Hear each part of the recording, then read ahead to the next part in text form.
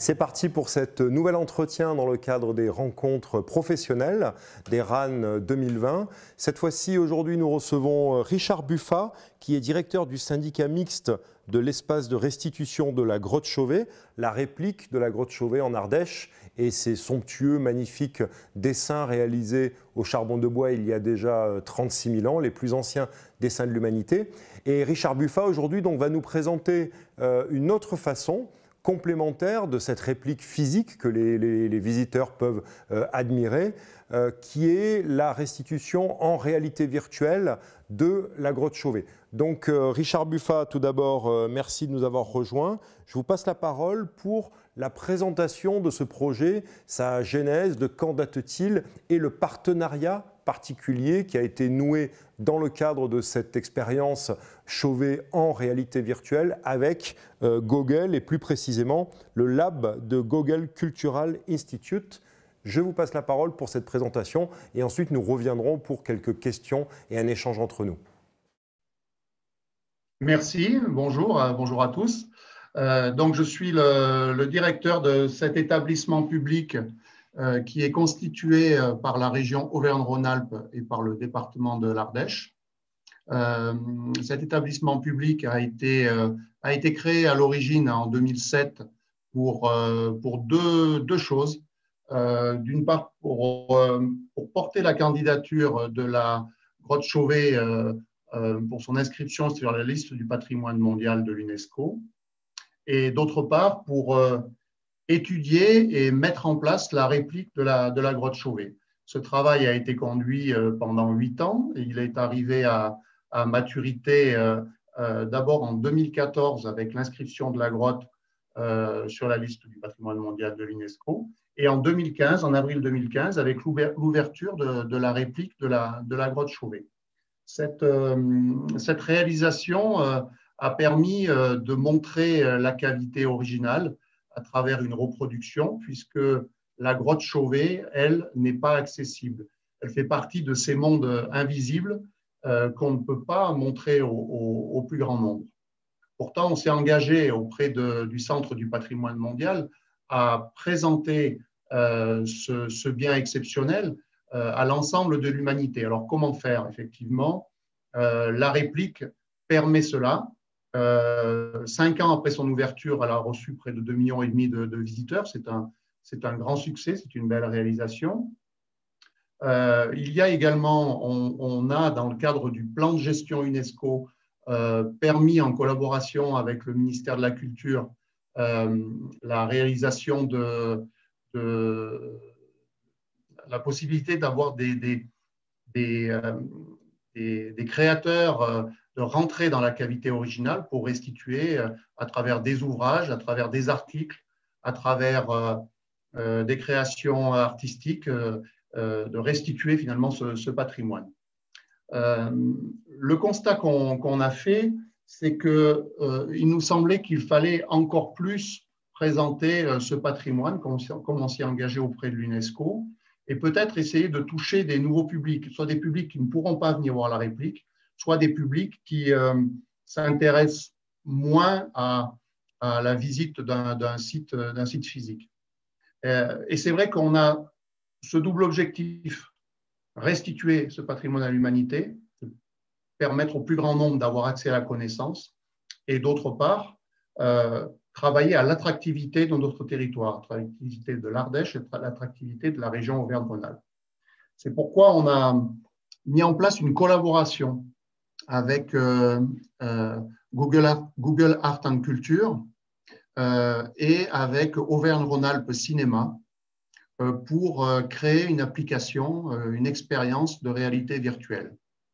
ce travail s'inscrit dans une collaboration plus, plus, large avec Google Art and Culture, puisque si vous allez sur le, sur le Google Art and Culture, vous aurez tout un travail qui a été réalisé euh, par le syndicat mixte euh, de l'espace de restitution de la grotte Chauvet pour présenter la cavité dans ses différentes facettes en direction des jeunes publics, en direction des publics, des publics adultes et avec des collaborations qui se sont faites avec, avec des scientifiques qui travaillent sur la, sur la grotte et avec d'autres d'autres chercheurs. Donc, un, panel de présentation très large sur le, sur le site de Google Art and Culture.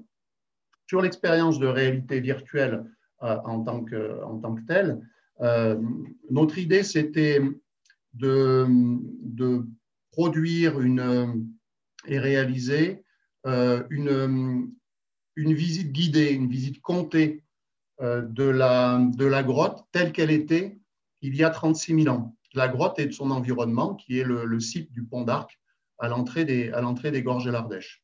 Dans la réplique, et euh, ça peut expliquer, euh, ça peut être une des raisons de, cette, de ce travail de VR qu'on a réalisé. Dans la réplique, on présente la grotte telle qu'elle est aujourd'hui. Il est extrêmement intéressant de savoir comment elle était il y a 36 000 ans. Et cette, euh, cette, visite de VR, cette visite comptée qu'on a, qu'on a réalisée, euh, a été euh, propose la rencontre entre deux groupes humains, un groupe humain qui est dans le, dans le site du Pont d'Arc et un groupe humain qui est en train d'intervenir dans la, grotte Chauvet. Donc, cette, expérience se déroule sur une dizaine de minutes. Et ensuite, le public a la possibilité de visiter librement une partie de la grotte. Cette partie de la grotte, c'est la, salle, du crâne et la salle hilaire, euh, euh, euh, pour, pour l'essentiel de ce, de, ce, de ce, travail, donc là avec un, temps libre. L'intérêt de, de cette expérience de VR, c'est que contrairement à, la grotte dans laquelle on ne peut pas aller ou, dans ou à la réplique dans lequel on est, nos déplacements sont limités par euh, une circulation sur des passerelles, c'est que l'utilisateur hein, peut, avec son casque de VR, se déplacer et bouger euh, dans l'expérience. Dans et, et, et, ça, c'est extrêmement intéressant pour pouvoir s'approcher des parois, regarder dans le détail les peintures, mais aussi euh, les éléments paléontologiques et puis les éléments géologiques remarquables de la, de la cavité. Cette expérience, elle a été euh, réalisée sur la, sur la base du modèle numérique en 3D qui avait été effectué pour, euh, pour construire euh, la, réplique de la grotte.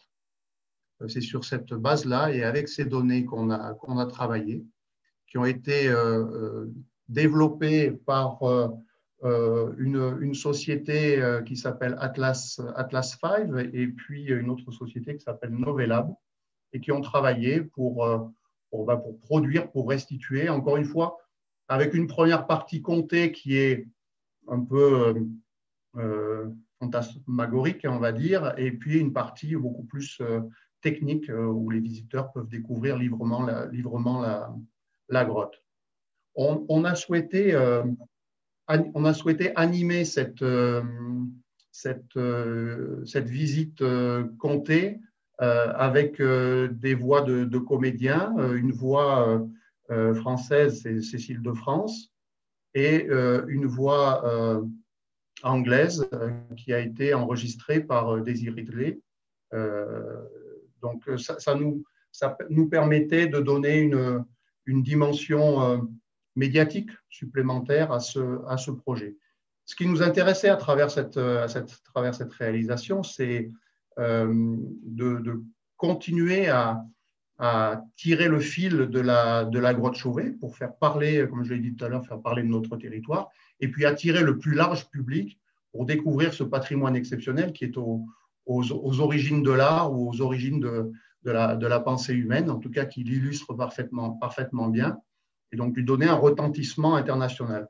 Cette, cette application a été lancée euh, en début d'année 2020 et a, connu un, très large euh, retentissement, euh, retentissement médiatique. Et aujourd'hui, il est possible de, de la voir, comme je le disais tout à l'heure, en, en, en, 2D sur le site de Google Art and Culture et à partir de ce site également, d'aller sur la plateforme de téléchargement euh, Steam et avec, avec des casques, des, casques des, Oculus ou, ou d'autres types de, casques, il y a la possibilité il a la possibilité d'aller à la rencontre de cette, de cette expérience.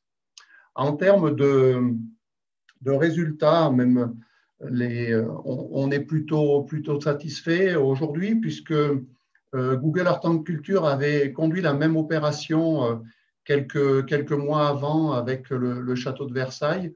On, a eu, nous, en, six mois, 27 000 téléchargements de cette, de cette application et, on est sur le même niveau de, sur le même niveau de, consultation que ce qu'a eu le château de Versailles en, en, un an. Donc, on, serait, enfin, on est au-delà en, termes de, en termes de visibilité.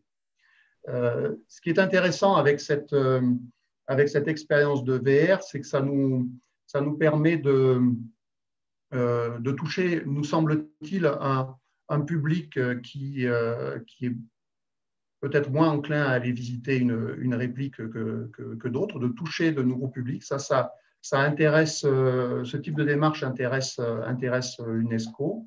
Euh, donc ça, ça a été voilà, un, élément particulièrement, particulièrement moteur dans notre, dans notre décision.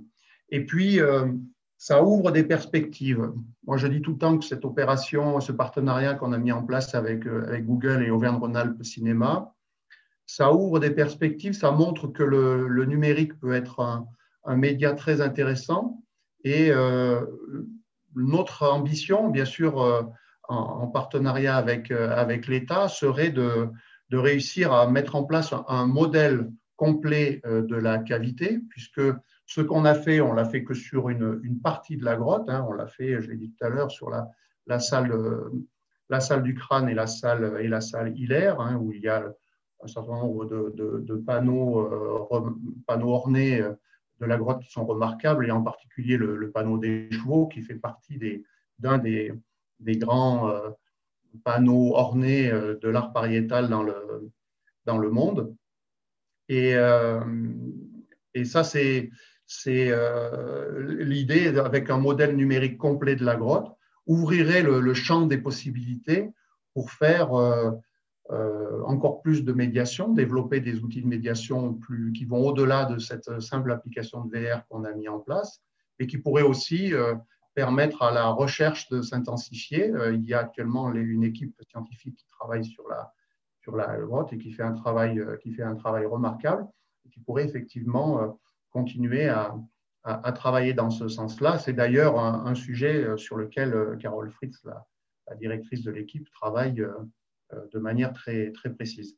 Et puis, un des derniers, euh, un autre intérêt, euh, toujours basé sur ce, sur ce modèle numérique complet de la, de la cavité, serait de mettre en place une, une grande exposition immersive qui pourrait être, présente, être présentée dans le monde entier, qui pourrait être présentée dans le monde entier, qui pourrait trouver, qui pourrait rencontrer un, un nouveau public. Euh, et encore une fois, expérience qui, euh, qui, aurait, le, double, le double objectif de, bah, de permettre au plus grand nombre d'accéder à l'information sur la grotte et, d'autre part, bien sûr, euh, puisque c'est un, de nos moteurs à, nous, établissements publics, bien sûr, de contribuer à l'attractivité de notre, de notre territoire, puisque c'est un, un moteur essentiel de, de travailler, de travailler dans le domaine de la culture et du patrimoine pour euh, donner une image euh, positive de notre territoire et contribuer à son, à son attractivité. Donc l'expérience de VR en tant que telle est très intéressante pour toucher un nouveau public, mais elle préfigure, en tout cas on l'espère, euh, un travail beaucoup plus ambitieux qui pourrait être conduit dans les années à venir. Merci euh, Richard Buffat pour cette présentation très complète. Euh, avant d'aller un petit peu plus dans le détail de la réalisation de cette expérience immersive euh, dans la, la, grotte Chauvet, des ressorts peut-être en termes de scénario et des aspects aussi techniques et de l'apport des scientifiques à, ce, à cette restitution. Peut-être un mot, plus qu'un mot, euh, une question sur euh, le partenariat avec Google euh, qui fait parfois figure un petit peu d'épouvantail dans, le, panorama culturel. On parle souvent des GAFA et Google est un, est un de, ces, de ces GAFA pourquoi être allé vers Google pour instaurer un partenariat destiné à cette expérience immersive. Est-ce que c'est Google, entre guillemets, qui est venus vous chercher? Est-ce que c'est vous, en tant que syndicat mixte, qui les avez contactés? Quels ont été un petit peu les, les termes de cet accord? Tout à l'heure, vous disiez que l'expérience immersive ne concerne qu'une partie de la cavité. Est-ce que c'est parce que l'État, pour l'instant, propriétaire des lieux, entre guillemets, n'a pas donné son autorisation pour une euh, visite euh, intégrale. Voilà, parlez-nous un petit peu de ce jeu à trois entre vous, euh, Google et éventuellement derrière l'État. Comment ça s'est passé? Alors, on a été, on a été sollicité, sollicité Google parce que on, souhaitait donner le plus de lisibilité à notre, le plus de lisibilité possible à notre, à notre projet. Alors, ça rentrait dans le, dans le débat de, de, la problématique euh, Google. C'est certain que en termes de, lisibilité, de lisibilité euh, sur Internet et en termes de, de, notoriété, Google était pour nous un, un, levier euh, très intéressant. Bien évidemment, Google Art and Culture a été très intéressé par notre, par notre démarche, puisque puisqu'ils sont, euh, euh, là on parle des premières images de l'humanité, donc ça faisait vraiment écho et ça, les intéressait de, travailler avec nous sur cet, aspect-là. Euh, on a utilisé les données qui appartiennent au syndicat mixte de l'espace de restitution de la grotte Chauvet pour conduire cette opération. On aurait pu le faire sur une zone plus, importante, mais on souhaitait, on souhaitait garder le, un certain nombre d'éléments, un certain nombre de, de, cartes pour la, pour la suite, hein, ce qu'on pourrait réaliser, euh, réaliser par la suite. Euh, on a, euh, les données sont notre propriété. L'expérience reste en intégralité propriété de, de, notre établissement public, donc on était assez protégé par rapport à, par rapport à ça. Et on est tombé sur des, sur des, euh, des personnes euh, très professionnelles, hein, que ce soit chez Google ou chez euh, Auvergne-Rhône-Alpes Cinéma, pour faire un travail de qualité qui pourrait avoir la meilleure lisibilité. Donc voilà un peu l'idée de ce, de ce travail. Donc l'apport de Google essentiellement est celui de servir d'une certaine, façon, certaine façon de média de diffusion de cette expérience ou est-ce qu'ils ont eu, est-ce que Google et son, laboratoire culturel, pour le dire en français, a aussi eu euh, un, apport euh, euh, artistique, intellectuel sur la conception de cette expérience? Oui, alors Google a été le maître d'œuvre de, de, cette de cette réalisation en s'appuyant sur, euh, sur deux sociétés, Atlas, Atlas 5 et, et pour faire le, le, travail, on va dire, technique euh, et applicatif. L'apport de Google a été très intéressant par, par le portail, euh, par la lisibilité qu'il apporte, et c'est là qu'était l'élément majeur, puisque du coup, la, grotte Chauvet se retrouve au même rang que les plus grands établissements culturels français qui sont déjà sur cette plateforme. Euh, ou les, plus grands établissements culturels, les internationaux qui sont, qui y sont également. Euh, on parle souvent des algorithmes de Google. On sait qu'il y a derrière des, logiciels très puissants qui, euh, euh, y compris des sociétés, payent parfois pour que le, nom de leur société remonte lors des recherches par mots-clés de la part des internautes. Est-ce que ça, ça fait partie aussi des, termes de cet accord, c'est-à-dire que, que, Google donne une visibilité peut-être plus grande à cette expérience immersive parce qu'elle est hébergée par euh, sa société que si elle avait été portée par euh, un autre acteur culturel je ne, sais, pas si elle aurait eu euh, une, moindre, lisibilité, ou si, mais, c'est certain que, Google a, fortement, est fortement intervenu au moment du lancement de, l'opération pour qu'elle ait, pour qu'elle ait le, ce lancement ait le plus grand retentissement. Et, et le choix de, euh, de la voix off de, Cécile de France ou de Daisy Ridley euh, sont des choix que, euh, à notre niveau, financièrement, on n'aurait pas pu, pas pu faire. Or, c'est vrai que ça apporte, ça apporte un plus.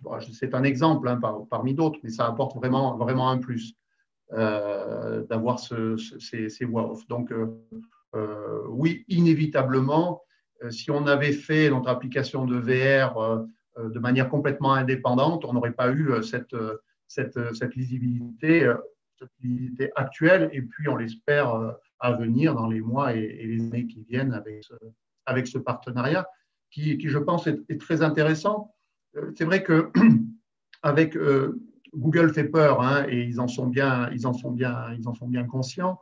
Et on a pu signer avec eux des, contrats de, de, collaboration très, très précis qui sont pour nous porteurs de, porteurs de projets, qui ont été pour nous porteurs de projets totalement rassurants. Et je dirais que depuis, depuis six mois, on, a, on ne peut que s'en féliciter.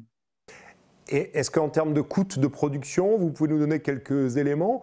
Est-ce que comparé par exemple à un documentaire de, films euh, pour la télévision de type euh, Arte ou d'une autre chaîne, euh, la réalisation, la production de, de, cette expérience d'immersion 2D ou 3D dans la grotte Chauvet est de coûts comparables, moindres, plus élevés et aussi quel a été le montage financier, entre guillemets, entre vous, euh, Google, et l'organisme de cinéma de Ronald Pauvergne Qui a apporté quoi en termes de, compétences et euh, de financement? Alors, je, ne donnerai pas le, montant total de, l'opération, euh, mais je, peux vous dire que, le, syndicat mixte de l'espace de restitution de la grotte Chauvet et Auvergne-Rhône-Alpes ont apporté euh, tous les deux en, totalité 100 000 euros dans l'opération euh, et euh, Google a apporté beaucoup plus. Après, je ne peux pas rentrer plus dans le, dans le, dans le détail de la, du, montant, du, montant, global. Venons-en maintenant au contenu lui-même de cette, de cette expérience, de ce voyage dans la grotte Chauvet.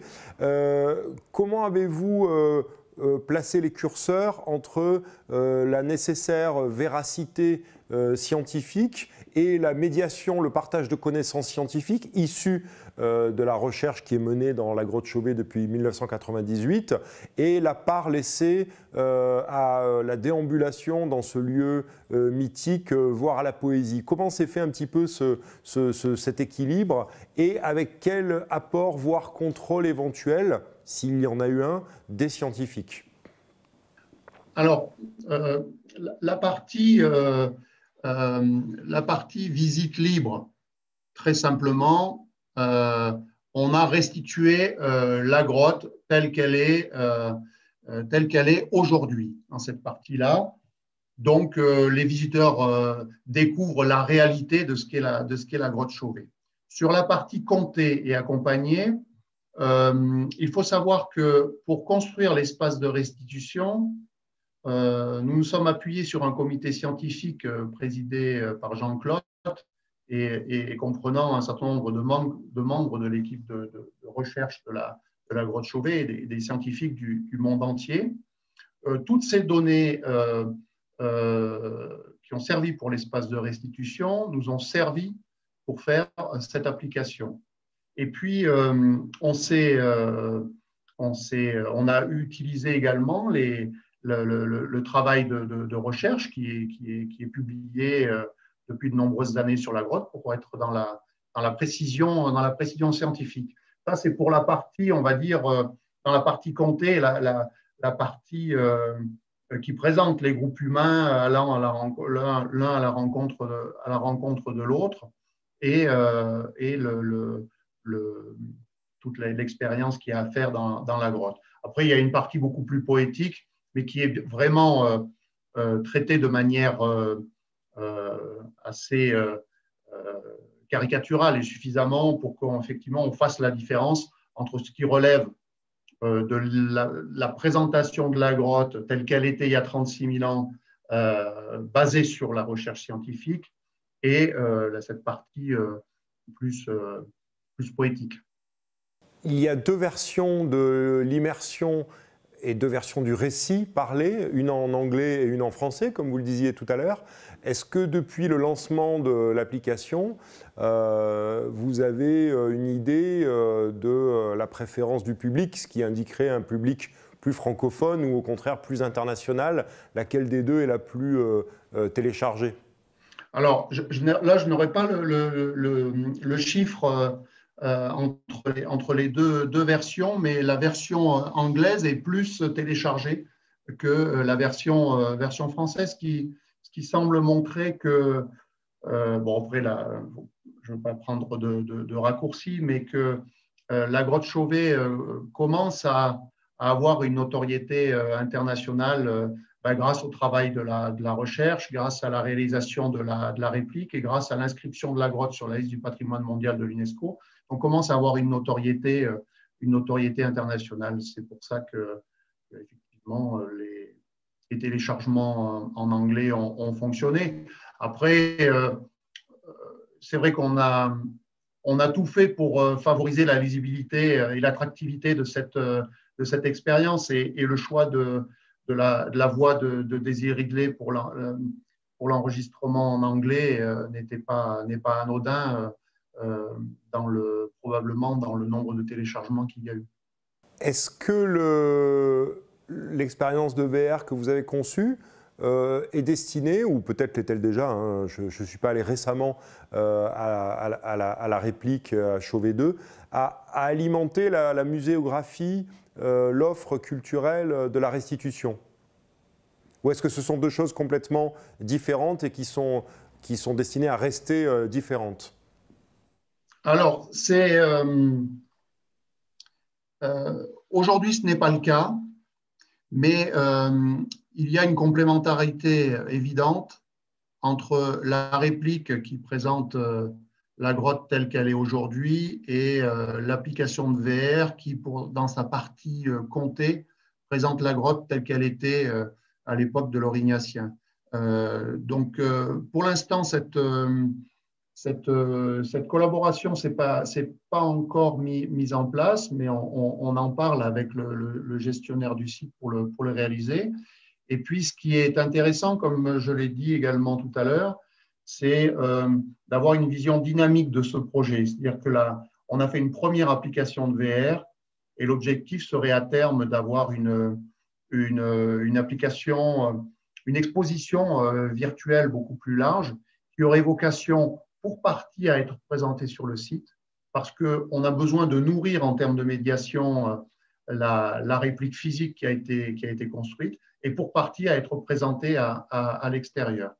Euh, quand on a commencé à travailler sur le projet d'espace de restitution, dans le, programme, on avait cette, double entrée, la grotte telle qu'elle est aujourd'hui, entre guillemets, ce qui est le plus simple, et la grotte telle qu'elle était il y a 36 000 ans, voire telle qu'elle était entre 36 000 ans et nos jours, euh, avec toutes les évolutions qu'elle a connues. Ce travail était très complexe, difficile à rendre avec une réplique physique. Par contre, euh, aujourd'hui, avec le virtuel, le champ des possibles est, très largement ouvert. Donc, ça pourra trouver sa place, bien sûr, sur le site, de, sur le site physique de Vallon-Pont d'Arc en, Ardèche, mais également à, l'extérieur. Richard Buffat, ça sera ma dernière question. Euh, vous avez parlé tout à l'heure, et vous venez de le dire encore, des ambitions en termes muséographiques euh, liées à cette euh, expérience d'immersion. Est-ce que cela veut dire qu'on va vers des propositions de, médiation autour de l'art pariétal qui euh, fasse moins appel que ça a été le cas peut-être par le passé aux répliques physiques. Il y a peut-être toujours un grand site qui sera répliqué intégralement, comme on l'a vu sur Lascaux, comme on l'a vu sur Chauvet, comme ça va bientôt être fait sur Cosquer.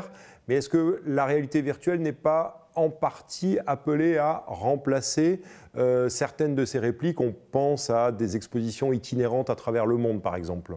Alors, euh, remplacer, je, ne crois pas. J'en suis, je suis même persuadé du, contraire.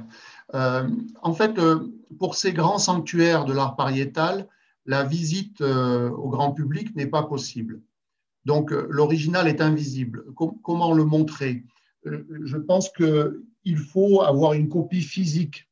Il faut que le public ait un lieu qu'il puisse découvrir physiquement, idéalement, et ça, ça nous a toujours été dit par, euh, par notre comité scientifique, idéalement à proximité de la, grotte originale. Et finalement, la, copie devient un peu l'original en se substituant à la véritable grotte qui ne peut, elle, pas être visitée. Et cette copie, je pense, est extrêmement importante. Elle est importante en termes de restitution de ce patrimoine à l'humanité.